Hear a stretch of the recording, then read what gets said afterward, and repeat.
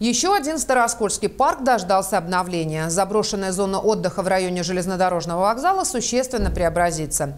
Здесь уже начались активные работы по благоустройству. Территорию выбрали сами староскольцы в рамках программы формирования комфортной городской среды. На обновление парка железнодорожников предусмотрено 32 миллиона рублей. Перед началом строительных работ в парке железнодорожников специальная комиссия обследовала все растения на территории. Задача – сохранить как можно больше деревьев, но оказалось, что 90% парка состоит из старых тополей. Возраст у него перестоянный, что имеется в виду, что более 60 лет практически все тополя повреждены грибковыми заболеваниями, 99% имеют или дупло, или суховершинность, трещины.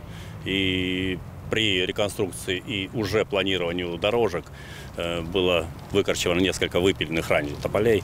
Э, корневая система практически вся поражена. Поэтому держаться им практически тут нечего и ну, не за что. Поэтому принято решение на сегодняшний день тополя все убрать. Взамен будет высажено около 200 новых молодых деревьев и кустарников. Здоровые растения оградились, чтобы не повредить техникой. Обновление парка железнодорожников выполняется в рамках программы формирования комфортной городской среды. Проводилось э, обсуждение два раза. В прошлом году, в 2020 жители приносили свои предложения. При обсуждении вносили свои корректировки.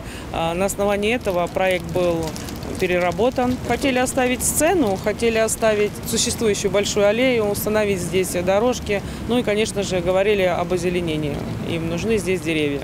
Стоимость контракта на благоустройство 32 миллиона рублей. Параллельно проводятся работы по демонтажу старого покрытия и обустройству основания под пешеходные дорожки. Согласно проекту, здесь оборудуют детскую и спортивную площадки, установят скамейки, урны, проведут освещение. Старый, давно не работающий фонтан получит новую жизнь. Фонтан будет восстановлен. Работы по подводящим сетям к фонтану будут выполнены в этом году работы по электроснабжению будут выполнены в текущем году. Проектом предусмотрена и сцена, установка малых архитектурных форм, 5000 квадратных метров э, пешеходных дорожек. Главный символ парка паровоз Су-211-75 будет реконструирован. Образца 1937 года во времена Великой Отечественной он обеспечивал подвоз вооружений и снаряжения войскам Центрального и Воронежского фронтов. Памятник установили в 1979 году в честь трудового подвига железнодорожников. Работы по благоустройству планируют завершить в течение лета.